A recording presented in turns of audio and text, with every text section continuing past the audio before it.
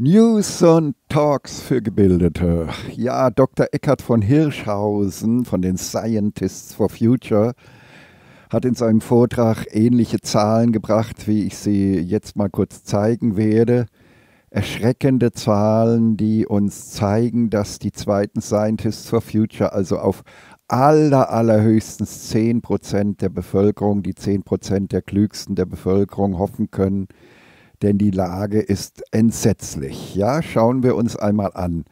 Äh, es fängt noch harmlos an und wird dann ganz schrecklich. Fangen wir mal ganz harmlos an. Also hier, die, die, die, äh, die soziale Marktwirtschaft hat ja ihre eigene Gehirnwäsche und Propaganda und so weiter. Kommen wir gleich dazu, wie die genau funktioniert. Äh, und aber dass eben 14 Prozent der Bürger nur muss man in diesem Fall den Politikern vertrauen.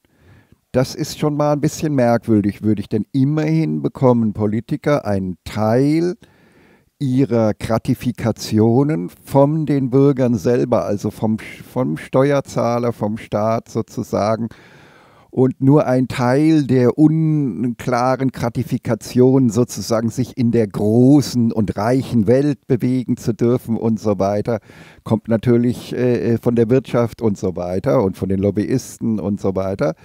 Aber äh, dass ihnen nur 14 Prozent der Bürger vertrauen, erscheint erschreckend, wenn wir sehen, wem die Bürger am Ende äh, zu 90 Prozent vertrauen. Ja, also schauen wir mal weiter. Also das ist schon mal ein bisschen merkwürdig, ja. Dann äh, Versicherungsvertreter. Warum Vertrauen äh, nur zu äh, also Gesundheitsversicherungen und so weiter? Ja, warum vertrauen äh, nur 23 Prozent äh, der Deutschen äh, diesen, äh, ja gut, da kann man sagen, da haben die, die, die Bürger ähm, ein bisschen, haben immerhin über 75 Prozent einen gewissen gesunden Menschenverstand. Warum soll ich jemandem vertrauen, der also hier Evolutionsprozess, wir müssen das ja immer belegen, äh, also hier Evolutionsprozess, ah, falsche, falsche Anzeige, hier immer belegen, hier Versicherungsvertreter, hier stellen wir uns den in der sozialen Marktwirtschaft den wahrheitsorientierten Versicherungsvertreter äh, vor, der also wirklich nur äh, versucht, nur die, die Sachen zu versichern, wo es wirklich sinnvoll ist und auch wirtschaftlich sinnvoll ist und auch nur mit den Firmen, wo es sinnvoll ist.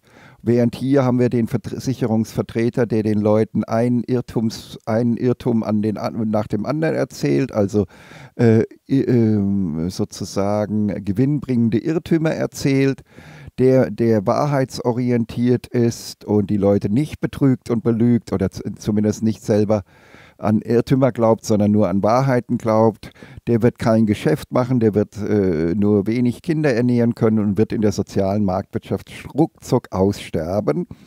Aber der, der, die, die, der den Leuten gewinnbringende Irrtümer um die Ohren haut und selber auch noch an diese Irrtümer glaubt und deswegen ganz überzeugend auftritt als Versicherungsvertreter, der wird Riesengeschäfte machen, weil er jetzt sozusagen die Bürger über den Tisch zieht und abzockt und äh, betrügerisch, also sozusagen äh, letztendlich äh, äh,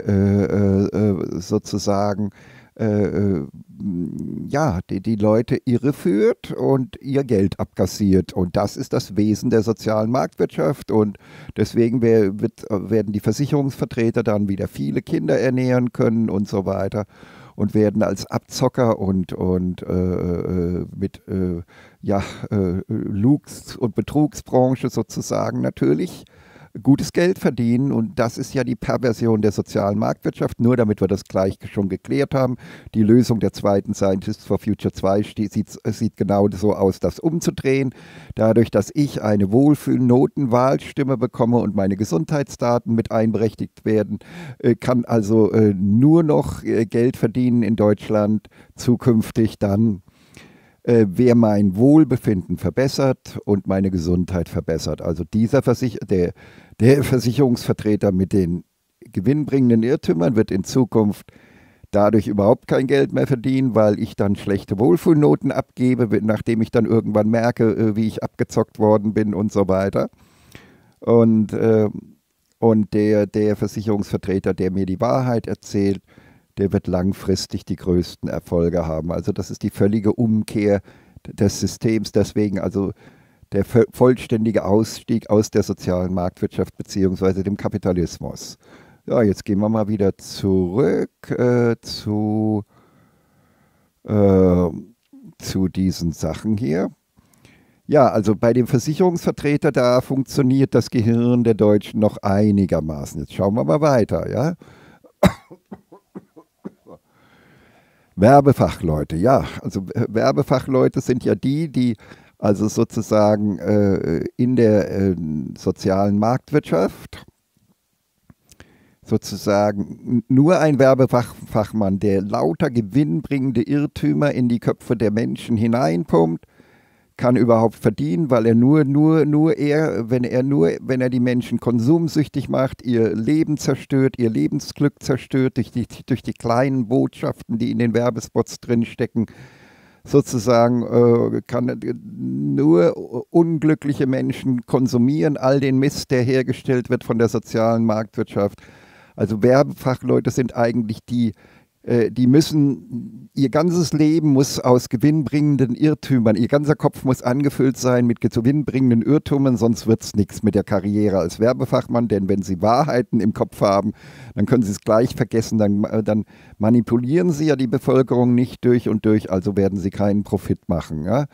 Äh, und werden in, in, in, Konkurrenz zu all den, den Irrtumsträgern immer wieder aussterben in der Evolution. Ne?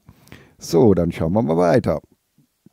Also Werbefachleute, wie viel, wie viel Prozent merken wenigstens, dass die, äh, äh, ja, also immerhin merken hier 75 Prozent hier, nein, Werbung, das ist Betrug und Lug und Irreführung und so weiter. Aber immerhin 25 fallen noch drauf ein. Also hier äh, von unserer Normalverteilung, ich habe es ja schon gesagt, dass es naturwissenschaftlich bewiesen ist, dass die Intelligenz der Menschheit sich auch normal verteilt weil das, äh, das Genom und das Gehirn gleichermaßen äh, Unterschiedsgeneratoren sind sozusagen und alles in der Natur unterschiedlich, also äh, alles auf, auf Unterschiedsgeneration, also Unterschiedserzeugung fußt. Ja, und hier, das sehen Sie, 25 Prozent, also hier noch so ein ganzer Batzen der deutschen Bevölkerung fällt auf, auf Werbung, äh, äh vertraut sogar noch auf Werbung und die, die drauf reinfallen auf Werbung, das werden wahrscheinlich noch ganz viel mehr sein. Ne? Also, weiter geht's. Äh, ähm, Profisportler, ja, also sozusagen, wenn Profisportler sagen, oh ja, ich bin ein sauberer Sportler, ich betrüge nicht durch Doping oder ähnliche Dinge, dann fallen darauf immerhin schon 37 Prozent der Bevölkerung rein, obwohl auch da der Evolutionswettbewerb genau so aussieht, ja. Der, der, der, derjenige, der, die, der Sportler, der die Wahrheit sagt und, und tatsächlich nicht dopt, hat im Wettbewerb in, in den ganzen Sportarten, wo ja äh, massenhaft gedopt wird, äh, ist überhaupt nicht konkurrenzfähig und kann natürlich keine Wettbewerbe gewinnen und landet immer nur auf den hinteren Plätzen. Ja? Also also der, der, der Sportler, der, der äh, äh, sozusagen äh, da äh, mit Doping betrügt, ja, der ist der Einzige, der die, die Sachen gewinnen kann. Also die soziale Marktwirtschaft äh, äh, sozusagen ja begünstigt natürlich, dass die Leute, wenn sie Geld verdienen wollen, natürlich betrügen, so gut sie können. Ne? Und trotzdem fallen auf, auf, auf diese, diese, Berufsgruppe immer noch 37 Prozent der Deutschen rein. Also nur, nur 63 Prozent äh, ahnen, dass das alles Schwindel ist. Ne? So, dann schauen wir mal weiter. Dann haben wir hier Journalisten. Ja? Also äh, äh, das ist auch wieder ein bisschen merkwürdig, denn da ist äh, sozusagen das Misstrauen gegenüber Journalisten, also das sind immerhin, wie viel sind es? 60, 64 Prozent, die Journalisten misstrauen und 36 Prozent vertrauen ihnen. Das ist auch wieder ein bisschen merkwürdig, denn auch einen Teil ihrer Gratifikation erhalten ja die Journalisten wieder im öffentlich-rechtlichen Rundfunk und Fernsehen, ja auch wieder vom Staat und sind, haben also eine gewisse Teilunabhängigkeit. Äh, aber 20, was weiß ich, 20, 30 Prozent kommen über Werbegelder, also von den Konzernen zustande. Also von daher ist, ist auch klar, dass das also sozusagen da ein volles Vertrauen natürlich nicht gerechtfertigt äh, äh ist, weil äh, die ökonomischen Rahmenbedingungen entsprechend sind. Aber ähm, erstaunlich ist halt, äh, dass doch so wenige äh, den Journalisten vertrauen. Jetzt schauen wir mal weiter. So, Banker, das haben ja mittlerweile alle mitgekriegt, dass also äh, sozusagen es darum geht, dass die Banken natürlich unser Bestes wollen, unser Geld und äh, deswegen immerhin 60 Prozent äh, sind misstrauisch gegenüber Bankern, aber immer noch 40 Prozent fallen auf, auf die rein. Also das heißt, da sehen Sie wieder, wenn, wo viel Geld ist, äh, können sie schick auftreten, also und mit, den Irrtumsmemen im Kopf, also mit den Irrtums, mit dem gewinnbringenden Irrtümern, ja, die dann die Menschen zu Anlagen bringen, die am Ende den Banken mehr nutzen als dem Bürger, ja. Äh, das, äh, das, das, wenn sie schick auftreten und so weiter, können sie natürlich damit viel blenden und immerhin sind ja dann 40 Prozent der Bevölkerung schon geblendet, ne? Die 40 und, und hier, wenn ein, ein, wahrhaft, ein wahrheitsorientierter Banker, der nicht aus seinen Bankkunden alles so viel wie möglich Geld rausholt, der wird immer wird als Bank immer aussterben, es sei denn, er wird vom Staat gerettet. so, jetzt schauen wir mal weiter.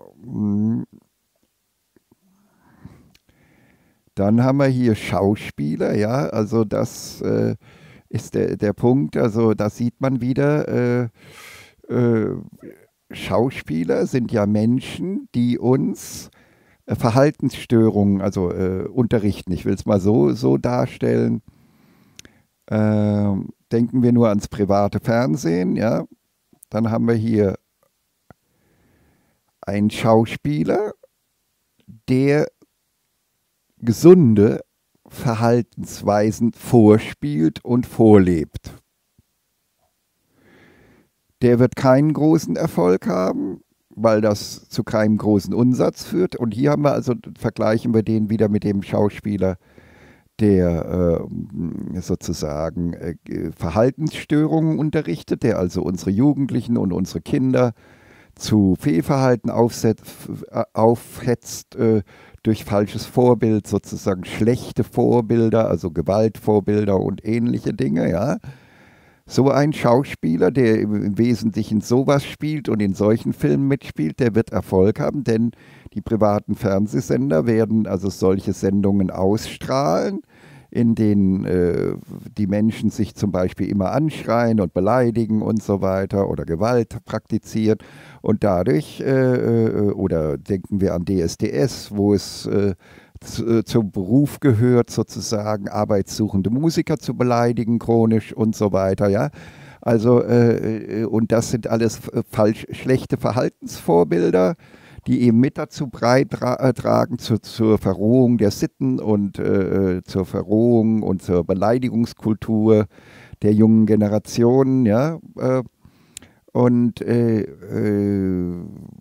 das ist also sozusagen äh, Schauspieler, die also sozusagen Verhaltensstörungen äh, durch, durch, dadurch, dass sie ein schlechtes Vorbild geben in den Dingen, die sie spielen, äh, können sie natürlich viel Geld verdienen und viele Kinder erzeugen und so weiter, viele Kinder ernähren und so weiter, weil natürlich die Wirtschaft Danke sagt, ja, wenn die Menschen Verhaltensstörungen bekommen, dann, dann, äh, äh, dann äh, werden die Menschen noch einsamer und dann werden sie noch konsumsüchtiger. Und die Wirtschaft, die ja mit den Werbespots die private Fernsehindustrie bezahlt, sozusagen, verdient noch besser. Ja? Und äh, deswegen sind natürlich Schauspieler, äh, ähm, äh, ja, na, falsch hier. Schauspieler natürlich Personen, äh, die, die sozusagen ja, äh, sehr im Irrtumswelten leben müssen, sonst könnten sie nicht skrupellos diese schlechten Vorbilder abgeben. Ja? Sie müssen sich ja einreden, dass Ihr schlechtes Vorbild geben keinen negativen Einfluss auf die Bevölkerung hätte und die Jugend zum Beispiel nicht verderben würde und so weiter. Aber das Gegenteil ist der Fall. Jeder Schauspieler äh, verdirbt, wenn er schlechte Verhaltensvorbilder darstellt, verdirbt äh, natürlich damit den Charakter der Bevölkerung und ist damit natürlich extrem schädlich, ja, äh, weil der Mensch ist das Nachahmungstier der Evolution und, äh, und ist sozusagen äh, ahmt praktisch zwanghaft. Bandura und Walters äh, haben das ja erforscht, dass, dass quasi äh, Menschen fast zwangsweise das nachahmen, was sie von anderen als also Vorbildern sehen. Und wenn, sich, wenn Schauspieler schlechte Vorbilder spielen, dann hat das eine enorme Wirkung und zerstört äh, den Charakter der gesamten Bevölkerung. Und dadurch werden die Menschen krachen immer mehr aufeinander, werden einsamer und konsumsüchtiger und konsumieren mehr von den Produkten, die in den privaten Fernsehsendern beworben werden. ja, jetzt müssen wir mal schauen. Äh, wie viel Prozent vertrauen, 46 Prozent vertrauen diesen Berufsstand, der also voll von Selbsttäuschung sein muss, sonst könnte man diesen Beruf als Schauspieler gar nicht machen. Also wenn, wenn, man, wenn man weiß, was Geschauspielertes anrichtet, dann kann man es ja nicht mehr machen. Ja?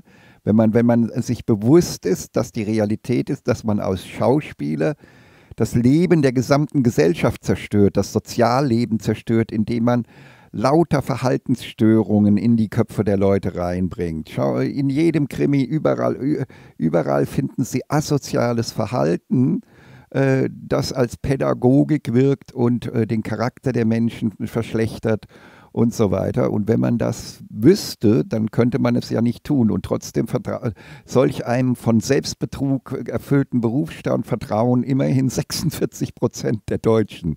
Also nur äh, 54 Prozent sagen, ja, nee, das sind ja merkwürdige Menschen, die uns da ständig solche schlechten Vorbilder vorspielen, äh, wenn sie überhaupt so weit denken. Na, ich habe jetzt mal positiv gedacht. Na, schauen wir mal weiter.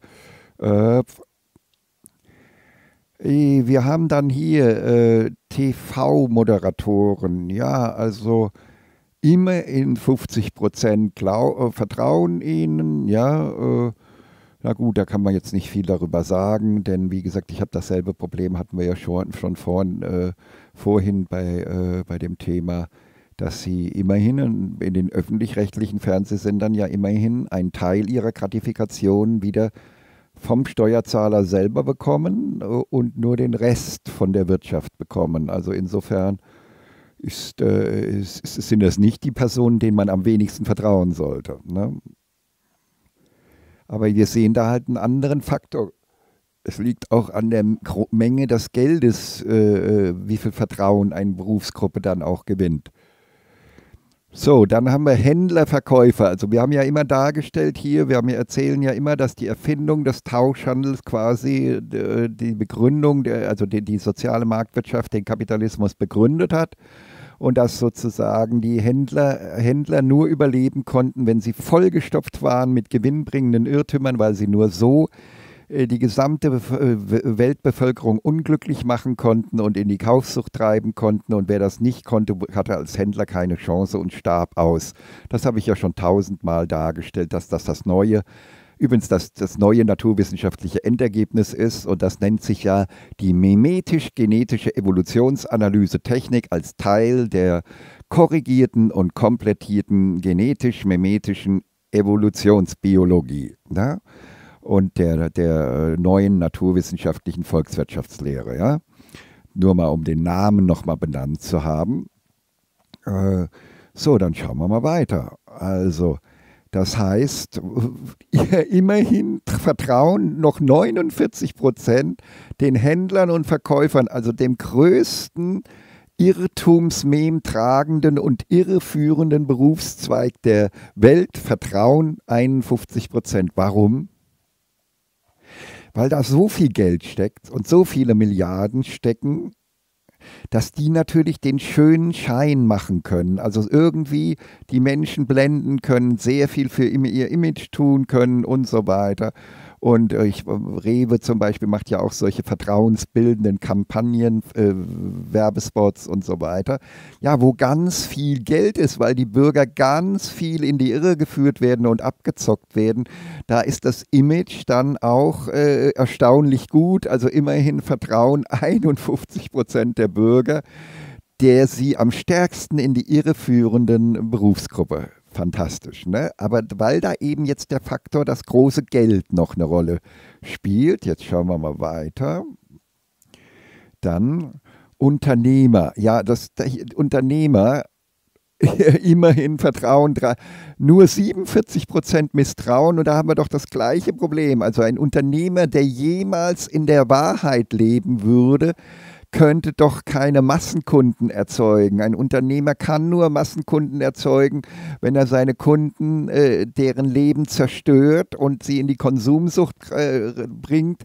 Denn nur in der Konsumsucht konsumieren die Leute richtig viel und er kann sich im Wettbewerb durchsetzen gegenüber den Unternehmern, die in der Wahrheit leben. Und, und äh, also von daher äh, sozusagen, es, äh, manche glauben ja jetzt zum Beispiel den Unternehmer, Unternehmern in der Sonnenenergie und in der Windenergie oder so. Nein, man darf eigentlich keinem Unternehmer in der sozialen Marktwirtschaft vertrauen. Erst in der in der, nach der Beendigung der sozialen Marktwirtschaft durch die äh, zweiten Scientists for Future 2 und die Umkehrung der gesamten Verhältnisse, also das völlige Umdrehen der Welt sozusagen, einmal vom Kopf auf die Füße gestellt oder vom, vom, ja, vom Kopf auf die Füße gestellt, dann erst können wir Unternehmern vertrauen. Aber im Moment ist es so, dass sich in der Evolution immer die Unternehmer durchsetzen, die selber in Irrtumswelten leben und einen Riesenschaden bei ihren Kunden an, äh, anrichten. Äh, so, dann gucken wir mal weiter. äh, aber Unternehmer haben eben auch viel Geld, können viel äh, äh, Imagepflege betreiben, äh, Greenwashing, Socialwashing und so weiter und können sich ein menschenfreundliches Image geben und einfache Menschen fallen drauf rein. Immerhin fallen 53 Prozent der Bevölkerung drauf rein. Ne? Also die, eben, um das nochmal kurz zu zeigen, 53 Prozent der Bevölkerung, also das ist der, der gesamte linke Block hier, äh, äh fällt auf Unternehmereien sozusagen. Ja? Und nur dieser Teil hier äh, durchschaut das, dass das im Rahmen des Kapitalismus, im Rahmen der sozialen Marktwirtschaft natürlich was gef ungeheuer Gefährliches und Schädliches ist. Ne? Handwerker, ja, warum? Es gibt ganze Fernsehfilme, die zeigten, äh, dass also äh, die Handwerker, die also wahrheitsgemäß sind und, und, und faire, äh, faire Gelder verdienen, gibt es ja ganze Fernsehsendungen darüber, so wie die Oma beschissen, wie die Handwerker versuchen, die Oma zu bescheißen, ja, sozusagen. Und äh, dass eben, äh, wer, wer, wer die Oma bescheißt und, und äh, lauter Irrtumsgedanken vermittelt und die, äh, die, die, die Kunden in die Irre führt. Natürlich kann nur der richtig Geld verdienen, weil die soziale Marktwirtschaft ist ein System, was regelrecht die Abzocke zulässt. Also, und äh, deswegen, obwohl es hunderte von diesen Sendungen, gefühlt hunderte von diesen Sendungen gegeben hat, äh, vertrauen immer noch 80 Prozent der Bürger den Handwerkern, obwohl äh, die sie genauso gnadenlos abzocken wie alles andere. Und obwohl es hunderte von Fernsehsendungen darüber gab im öffentlich-rechtlichen Fernsehen, wie die Handwerker, äh, die, die Omas abzocken gnadenlos, denken Sie an Schlüsseldienste oder andere Handwerker, ja, und wie die, wie die also immer versuchen, äh, äh die Leute über den Tisch zu ziehen, weil sie nur so überleben können in der sozialen Marktwirtschaft. Ne? Aber da sehen Sie mal, 80 Prozent der Bürger sind so dumm. Hier 80 Prozent der Bürger haben so wenig Hirnschmalz, dass sie diesen, dass sie dem Betrug, den Betrügern vertrauen. Ja, das ist der Hammer. Ne? Das muss man sich mal klar machen. Und da sehen wir auch, wie wenig Chancen die zweiten Scientists for Future mit zwei mit ihrer Aufklärung haben. Ja? Und jetzt Polizisten, ja. Ja, das ist jetzt ein bisschen schwierig, ja. Äh, da kann man nicht so leicht was dazu sagen, weil ja das Dilemma beim Polizisten ist ja, hier schauen wir es uns wieder an, naturwissenschaftliche Analyse, mimetisch-genetische Evolutionsanalyse, Technik, ein Polizist, der wirklich dem Bürger dient und nicht auf äh, einer, also unterschwellig sozusagen eine Komplizenschaft mit der Täterschaft, mit den Tätern eingeht. Also es geht ja um, immer um die Frage, geht jetzt Täterschutz vor Opferschutz oder Opferschutz vor Täterschutz, ja? Und ein Polizist, der wirklich in seiner Mentalität wirklich und in seiner Polizeiphilosophie wirklich bürgerfreundlich und opferfreundlich ist und täterfeindlich ist, der kann ja gar keine Karriere machen. Denn schauen wir mal hier, die, Poli die frühen Polizisten, hier sind wir ja an dem Punkt der ersten, des ersten Polizisten, die, der ersten zwei Polizisten der Erde.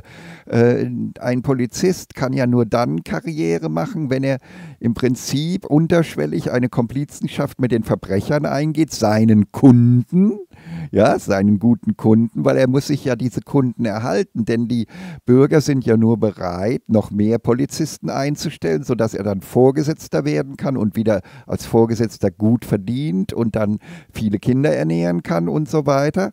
Äh, äh, dann äh, kann er ja nur, wenn er sich unterschwellig mit den Verbrechern äh, äh, fusioniert quasi und, und diese als gute Kunden auch gut behandelt und ihnen eher ein Hotelservice liefert und so nach dem Motto, liebe Verbrecher, macht bitte weiter, damit ich neue Mitarbeiter be bewilligt bekomme, weil ja so viel los ist und damit ich sozusagen äh, vor Gesetzter von vielen werden kann, riesige Karriere machen und dann so breitet sich dann natürlich eine solche kranke Polizeiphilosophie, wie wir sie heute auch in Deutschland überall feststellen, natürlich massenhaft aus.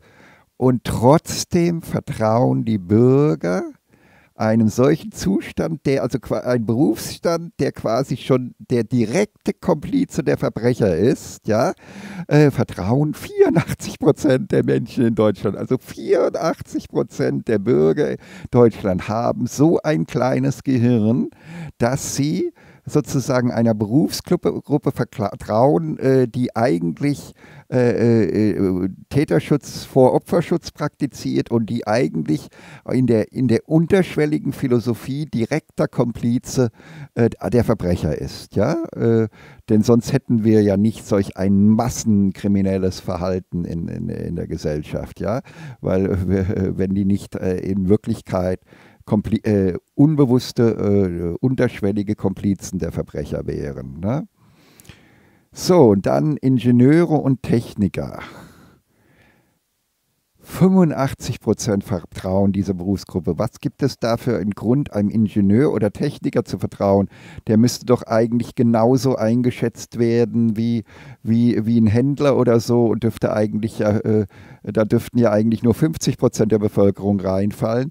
Aber das zeigt wieder, äh, ja, Ingenieur, ja, ach ja, die haben ja studiert und so weiter, ja, und das, der, da kommt dann die Blendung wieder rein, dadurch, dass in der sozialen Marktwirtschaft natürlich die Pseudowissenschaften äh, natürlich so, so versuchen, das Image hochzuhalten. Wir sind für die Wahrheit da, obwohl sie in Wirklichkeit ja nur die Blendfassade sind im Kapitalismus. Hier, wir, äh, äh, äh wir äh, äh, gaukeln, Wissenschaft tut so, als ob sie für Wahrheit stände. Im Wesentlichen ist sie ja auch eben Dienstmarkt der äh, äh, der Wirtschaft sozusagen, einer uns alle ruinierenden Wirtschaft. Ja?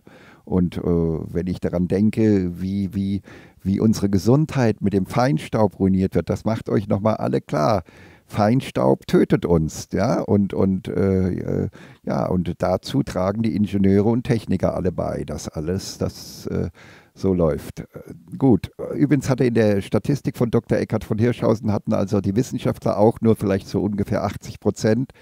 Ja, weil ja da viele, immerhin noch 20 Prozent der Bevölkerung so intelligent sind, dass sie sagen, ja hoppla, ja, äh, Wahrheitssuche schön und gut, aber die Wissenschaft ist auch nur ein Wirtschaftszweig des Kapitalismus, der in erster Linie wirtschaftsfreundliche Unwahrheiten äh, erzeugt. Ne?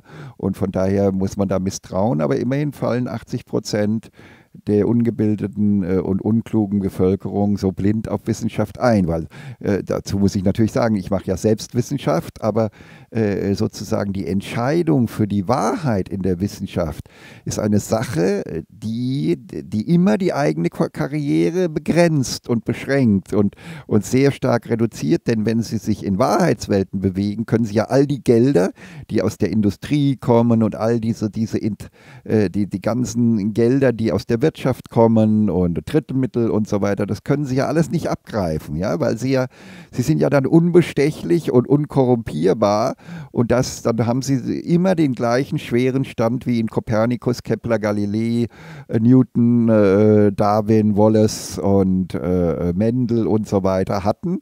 Äh, äh, die hatten, die, die waren immer von der, die, immer war die Masse der Pseudowissenschaftler, die waren immer die Gegner der Wahrheit. Ja, das ist, das ist, äh, äh, das habe ich nur noch mal zur Erinnerung noch mal gesagt. Das habe ich ja schon so oft gesagt. Ja, jetzt schauen wir mal weiter hier, wie das äh, so weitergeht. Also Apotheker, jetzt wird es jetzt wird's kritisch. Also jetzt äh, 360 Milliarden Euro im Jahr kassiert die Medizinbranche, die Pharmabranche und so weiter jedes Jahr ab. Und mit den Milliarden schaffen die es, ein, ein, äh, äh, äh, äh dass ihnen 87 Prozent der Bürger vertrauen, den direkten direkten Einzelhandelsstationen der pharmazeutischen Industrie vertrauen 87 Prozent der Bürger.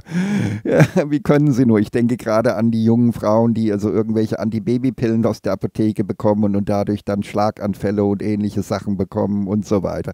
Dr. Gerd Reuter hat ja mit TH, hat ja auf YouTube äh, ganz deutlich bewiesen, äh, hundertprozentig bewiesen, dass, äh, dass eben äh, nichts uns mehr tötet äh, als die Medizin, also der Feinstaub, die Medizin, die Lebensmittelindustrie, das sind unsere ganz großen Killer, der Straßenverkehr und so weiter. Das sind die Sachen, die uns abschlachten und frühzeitig sterben lassen und so weiter.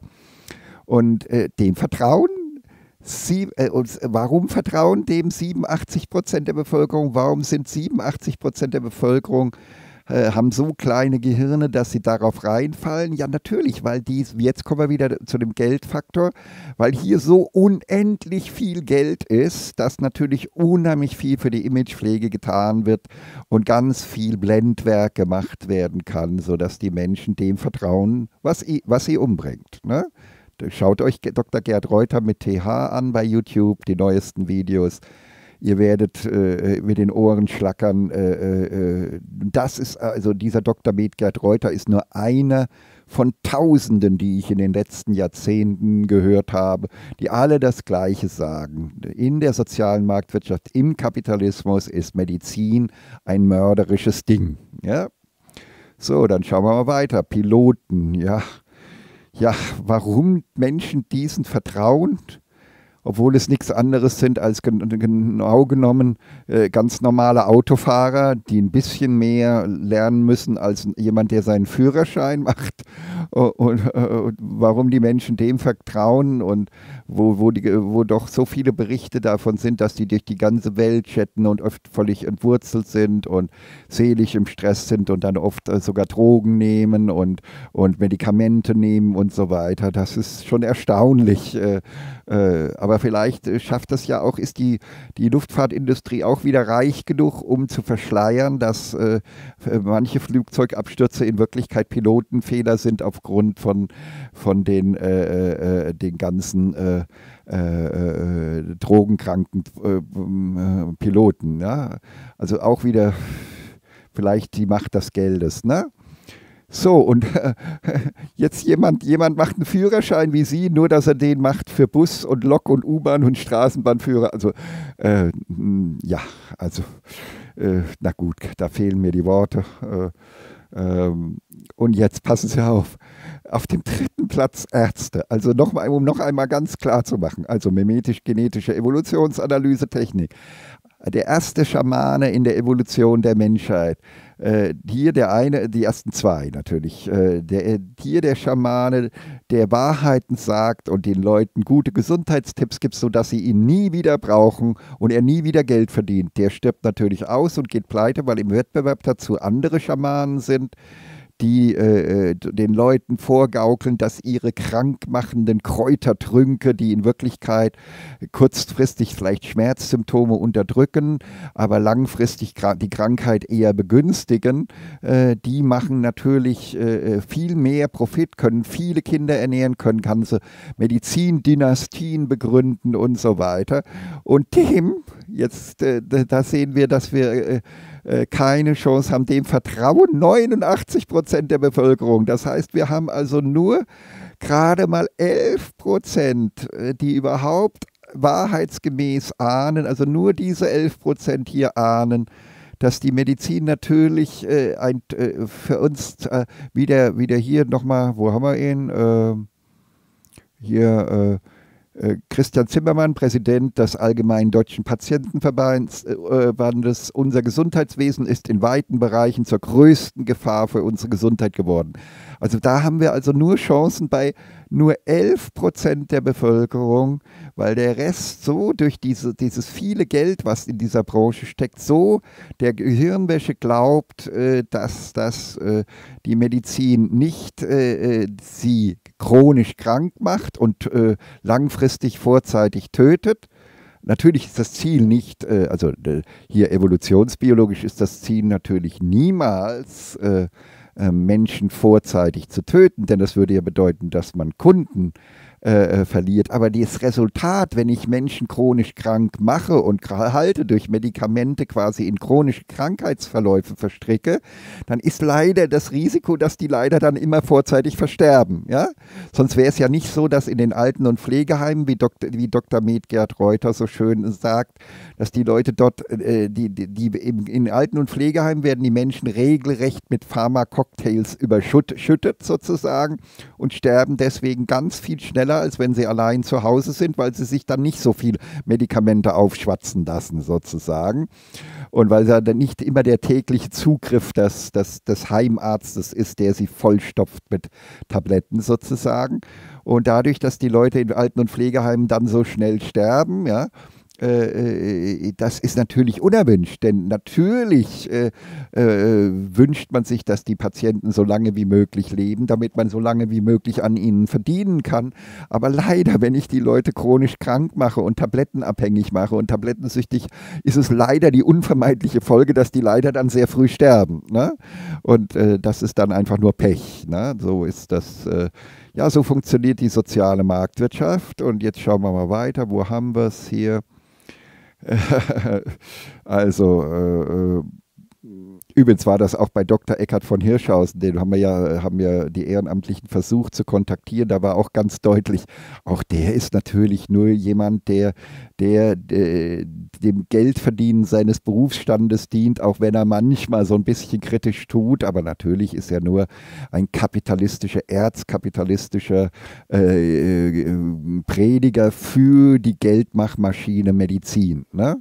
Das hat er schließlich auch studiert, wie man, wie man äh, da in Illusionen lebt und äh, die Bürger krank macht. Ja? Und äh, ja, und jetzt äh, Krankenschwestern und Pfleger, da, da, vertrauen 95 Prozent, jetzt passen Sie auf, nur noch, da haben wir nur noch 5 Prozent, die halbwegs durchschauen, dass die natürlich dem gleichen medizinmafiösen, kapitalistischen, sozialen, marktwirtschaftlichen System unterliegen und uns alle umbringen. Und obwohl wir ja schon von, von Hunderten von äh, Pflegern gehört haben, die Leute totgespritzt haben, absichtlich und so weiter und umgebracht haben, und so weiter, vertrauen die Menschen immer noch äh, den Pflegern. Aber das, das kann auch eben wahrscheinlich nur daran liegen, weil da wiederum so viel Geld drin steckt in diesem ganzen Business, dass da auch die Krankenschwestern und so weiter so einen Heiligenschein bekommen haben und so weiter. Obwohl sie ja eigentlich nichts anderes sind, als äh, dass sie die Helfershelfer der Ermordung oder der, der, der, des Krankmachens und des chronisch Krankmachens und letztendlich dadurch ungewollt äh, Tötens der Bevölkerung sind, sozusagen. Ja? Ich sage immer, wenn Sie, also Krankenhaus, Sie müssten das Wort Krankenhaus, müssen Sie evolutionsbiologisch gesehen immer mit dem Wort Schlachthaus ersetzen. Sie werden dort geschlachtet und ob, wenn, wenn man ihnen nur Teile wegschneidet, können sie da vielleicht noch lebend wieder rauskommen, aber irgendwann werden sie auch zu Tode geschlachtet. Ne? So, dann schauen wir weiter. Äh, wo war's? Äh, hier. Und wer hat die größte Glaubwürdigkeit?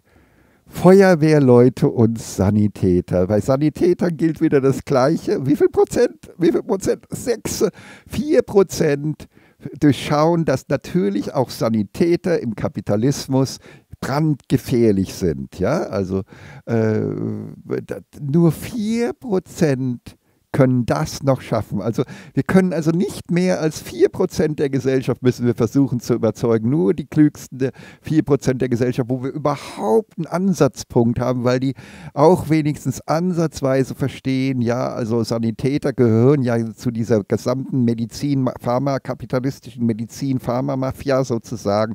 Und da geht es natürlich darum, uns chronisch krank zu machen und zu schädigen. Und natürlich ist der Sanitäter nur der Zuträger dazu. Und Feuerwehrleute, da hat man doch schon so oft gesehen, dass es Feuerwehrleute gibt, die also, also selber Brände legen, weil sie ja selbst auch wieder, jetzt haben wir wieder den gleichen Mechanismus wie, der Poliz bei der Polizei. Ja, wir hatten ja vorhin den Polizisten, der bürgerfreundlich ist im Kapitalismus und den Polizisten, der äh, täterfreundlich ist, verbrecherfreundlich ist und der Komplize der Verbrecher ist, sonst von seiner Mentalität und Einstellung her. Also sagt, ach, wir müssen ja Mitleid haben mit diesen Verbrechern, die sind ja alle Opfer der Gesellschaft und so weiter, ja. Und, und, und genauso ist es ja mit dem Feuerwehrmann. Wenn der Feuerwehrmann wirklich äh, sozusagen äh, Ruhm und Erfolg haben will und, äh, und äh, zündelt niemals selber, dann wird er natürlich immer nur zu realen Bränden gerufen werden, während der, der selber zündelt, ja, der äh, äh, uns selber Brände legt, ja, als Brandstifter sozusagen, der kann dann als der Held auftreten und kann dann berühmt werden und kann Achtung bekommen, kann bei den Frauen beliebt werden als der Retter in der Not, weil der Kapitalismus solche verrückten Dinge zulässt. Und jetzt nochmal gesagt, nur durch die Einführung, die Umkehrung, das, das gesamte System muss beendet werden, muss quasi vom Kopf auf die Füße gestellt werden. Und nur meine Wohl, meine, mein, mein gesteigertes Wohlfühlen und äh, mein verbesserter Gesundheitszustand darf zu, zu, Verdiensten führen. Und wenn mein Wohlfühlen schlechter wird, zum Beispiel durch einen gelegten Brand oder durch einen geförderten Kriminellen, den die Polizei so richtig schön unterstützt, äh, sozusagen äh, als Komplize, äh, dann, äh, dann äh, sozusagen ja, dann, äh, also wenn meine Wohlfühlnote und meine Gesundheitsdaten über alle Verdienste entscheiden und wenn ich mich unwohl fühle, weil ich Opfer eines Feuerwehrmannes werde, der selber Brände legt, eines brandstiftenden Feuerwehrmannes, dann gebe ich schlechte Wohlfühlnoten ab, habe vielleicht Verbrennungen, deswegen schlechte Gesundheitsdaten und so weiter. Und äh, dann äh, wird dieser Feuerwehrmann oder diese Art Feuerwehrmann zu sein und Polizist zu sein eher aussterben unter den neuen Bedingungen sozusagen. Und äh, äh derjenige, der äh, mir wirklich hilft und der mein Wohlfühlen verbessert, mich zuverlässig schützt vor Straftätern und vor Bränden schützt, präventiv und so weiter, schützt vor Bränden und so weiter dem kann ich dann vertrauen, wirklich, also weil, weil der verdient nur dann gut und wird auch nur dann Gratifikationen erhalten, wird nur dann Ruhm ernten, wenn bei uns, bei mir nie ein Feuer auf, ausbricht, weil er mich so gut berät und weil ich nie Opfer von Straftaten wird, weil er so mit den Tätern spricht, so dass er sie auf den rechten Weg zurückführt und präventiv dafür sorgt, dass die nie wieder eine Straftat begehen, sozusagen. Äh, durch eine die richtige Mischung aus hartem Durchgreifen und verständnisvollem Reden und, und äh, versuchen, die Menschen äh, auf einen äh, äh, nicht kriminellen Weg zu bringen. Ja, also ich hoffe, es ist nochmal deutlich geworden. Ich fand das so interessant. Äh, aber das zeigt deutlich, dass wir also 96 Prozent der Bevölkerung völlig abhaken können, weil die noch an den Weihnachtsmann glauben, weil die noch an den Osterhasen glauben und weil, die, weil die nicht begreifen, dass in der sozialen Marktwirtschaft, im Kapitalismus alles verrückt und schädlich ist sozusagen und dass deswegen die soziale Marktwirtschaft unbedingt durch die zweiten Scientists for Future 2 beendet werden muss. Also nur 4% sind klug genug, also das ist erschreckend, ja, äh, um überhaupt mal mit ihnen einen Gesprächsanknüpfungspunkt zu haben. Ja, weil, weil äh, irgendwie die anderen 96 Prozent glauben immer irgendwie an den Weihnachtsmann, nämlich dass in der sozialen Marktwirtschaft äh, auch nur irgendetwas gut sein könne. In Wirklichkeit ist die soziale Marktwirtschaft genau das, was uns nicht mit 127 Jahren gesund äh, in Ruhe einschlafen lässt und mit 127 gesund sterben lässt an Altersschwäche sozusagen, sondern die soziale Marktwirtschaft, wie die Dr. Gerd mit, mit Gerd Reuter so schön sagte, die bei den Menschen heutzutage finden sie immer in jeder Obduktion eine echte Todesursache, ja, einen echten Grund, was sie umgebracht hat, ja. Äh, und und, und äh, da ist der Punkt, dass also sozusagen wir alle schon, die Tendenz geht ja jetzt wieder Richtung, Richtung 77 sozusagen, dass wir alle schon äh, 50 Jahre vorher umgebracht werden durch die soziale Marktwirtschaft und mit 47, also 80 Jahre vor unserem äh, äh, natürlichen Krankheits- und Sterbepunkt äh, sozusagen, 80 äh, Jahre vorher macht uns die Maschinerie der sozialen Marktwirtschaft schon durchschnittlich chronisch krank. Toll. Und nur 4%, mit 4%, die sind überhaupt intelligent genug, um sowas auch nur ansatzweise ahnen zu können. Ja, jetzt verstehe ich, da haben es natürlich die zweiten Scientists for Future 2 wirklich schwer, da durchzudringen. Alles klar, tschüssi.